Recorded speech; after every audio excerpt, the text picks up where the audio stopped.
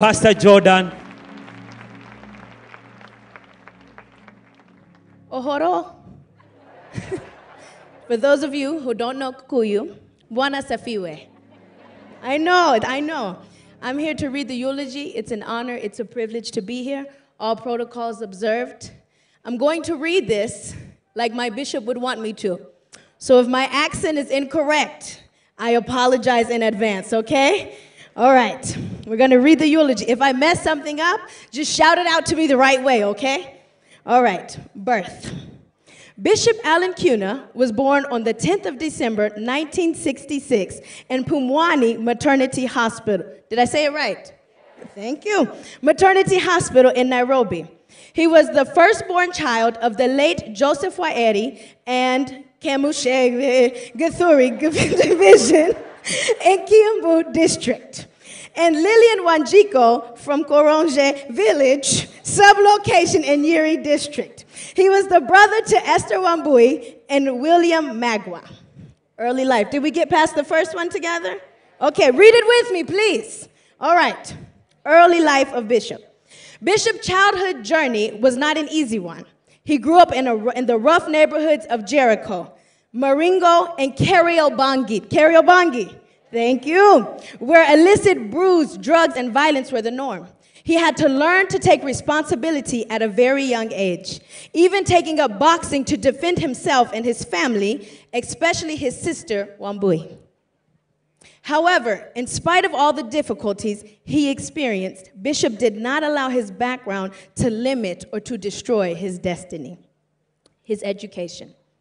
Bishop Allan joined nursery school in Lumbumba, Lubumba Social Hall in 1972 and continued his studies in both Khalsa Primary School and Uhuru Estate Primary School in 1973 before moving on to Kimathi Estate Primary School in 1974, where he completed his primary studies in 1979. He joined Ofafa Jericho Secondary School in 1980 and later Parklands Boys High School for his A levels in 1986. Upon completion of this, Bishop Allan Kiuna studied to be a certified CPA or certified public assistant at the School of Professional Studies in 1988 his spiritual conversion. At the age of 19, young Allan surrendered his life wholly to Jesus Christ under the mentorship of his spiritual authority, Reverend Teresia Wairimu of Faith Evangelistic Ministries. Can we please give it up for Mom Teresia? Thank you, Mom. Who led him to the Lord. This encounter with Jesus marked the beginning of a new, exciting journey, sparking a passionate hunger for God, which burned bright within him to the very end.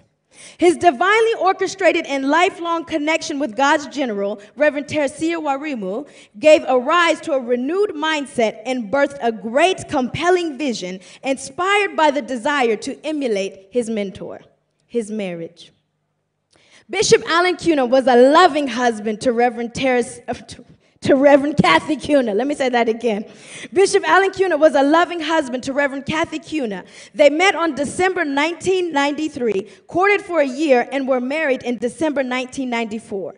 Together, they became an example of the loving of a loving couple, a pattern of blissful marriage, and set the pace for couples working together in ministry. They have been the best friends, lovebirds, faithful confidants, and inseparable soul- soulmates who never concealed their deep love for one another, even in the public. Allan and Kathy were happily married for almost 30 years. Can we please give it up for almost 30 years? His children. Bishop Allan Kiuna was a very devoted, loving, and present father to Vanessa Wambui Kiuna Kovac, Stephanie Wanjiko Kiuna, Jeremy Wairi Kiuna, and he was the father in law to Robert Kovac and Nathan Woolner.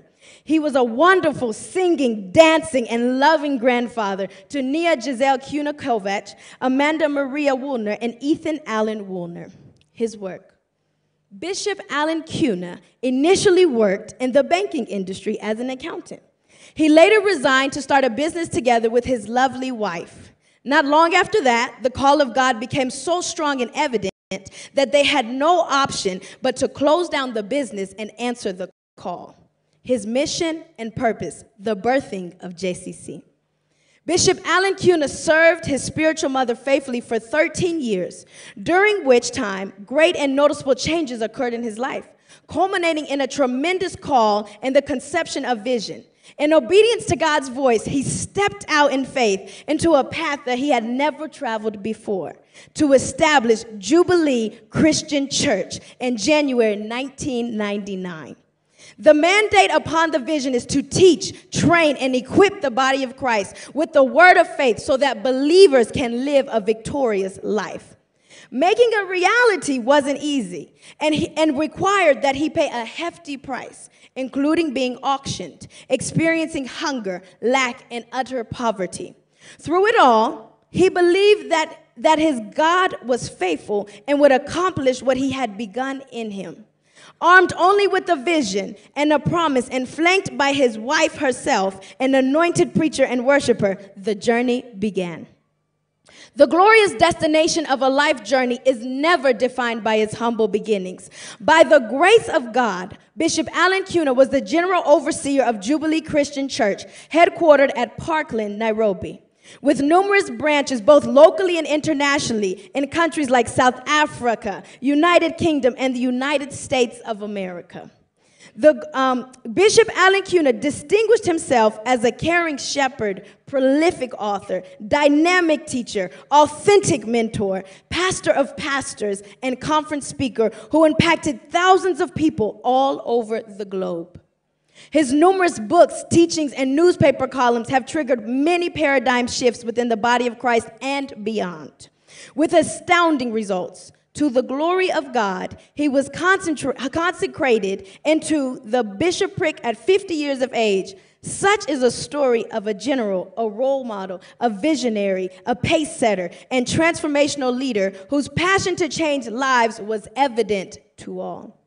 His impact we can never have enough gifts, words, or actions to describe the blessing that he was to us. He was a man of integrity, unquestionable character, and humility. He cared for the less fortunate in society, going to great lengths to ensure that many were fed, clothed, and educated at primary, secondary, tertiary, and university levels. He was not only committed to God, but to those that God entrusted in him as well. Many are the unknown sacrifices and the acts of kindness that he did, and they may never be documented, but indeed, his life was worth emulating. His illness. Bishop Allan Kiuna was healthy all his life until he was taken ill six years ago. About 10 a.m. on Tuesday, 9th of July, 2024, Bishop Allan was called home to be with his Lord and Savior, whom he loved and served since his youth. He went to be with the Lord in the presence of his precious wife, who cared for him with great love and devotion. I want to thank you for joining us today in honor of his timeless memory and to celebrate of the life of this great patriarch. To God be the glory in Jesus' name. Amen. Let's appreciate Pastor Jordan Kanye, Pastor Peter Kanye, and Pastor Jordan Kanye really took good, took good care of our father while he was in the US for a, about a whole year plus. Pastor Kanye, my brother, don't know where you are. You could stand up. Let's appreciate them. God bless you in Jesus' name. And there are guests that have come together with mom's friends from abroad. One more time, I'd kindly request the international guests from USA, UK, South Africa, Tanzania, Rwanda, Ghana, Nigeria to kindly stand up as we clap for them. Some of them will be coming to talk to us in a bit, but please stand up. Servants of God, men and women of God, let's clap for them. Let's clap for them. They're